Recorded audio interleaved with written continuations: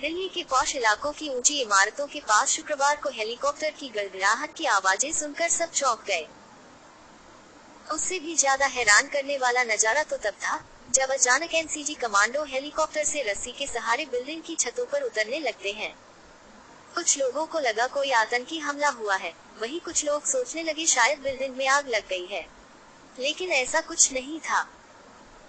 दरअसल NSG commando ने दिल्ली में जी बीस शिखर सम्मेलन के लिए सुरक्षा तैयारी के हिस्से के तौर पर दिल्ली की महत्वपूर्ण ऊँची इमारतों पर हवाई हमले का अभ्यास किया। जी बीस सम्मेलन के मद्देनजर दिल्ली की सुरक्षा व्यवस्था को चाप चौबंद किया जा रहा है। ये भी उसी कड़ी का हिस्सा था। दिल्ली पुलिस ने जी बीस शिखर सम्मेलन के दौरान किसी भी प्रकार की घुसपैठ, आतंकवादी गतिविधि या तोड़फोड़ के खिलाफ सुरक्षा के पुख्ता इंतज़ाम किए हैं। उन्होंने बताया कि केंद्रीय सशस्त्र पुलिस बल सीएपीएफ और राष्ट्रीय सुरक्षा गार्ड एन इन बंदोबस्त में दिल्ली पुलिस की सहायता कर रहे हैं। विशेष पुलिस आयुक्त सुरक्षा मधु तिवारी ने कहा कि विशेष पुलिस आयुक्त दर्जे के अधिकारी बड़े आयोजन स्थलों पर सुरक्षा की कमान संभालेंगे। उन्होंने कहा, होटलों में पुलिस उपायुक्त डीसीपी स्तर के अधिकारी, कैंप कमांडर के रूप में काम करेंगे। बाकी पूरी दिल्ली हाई अलर्ट पर रहेगी।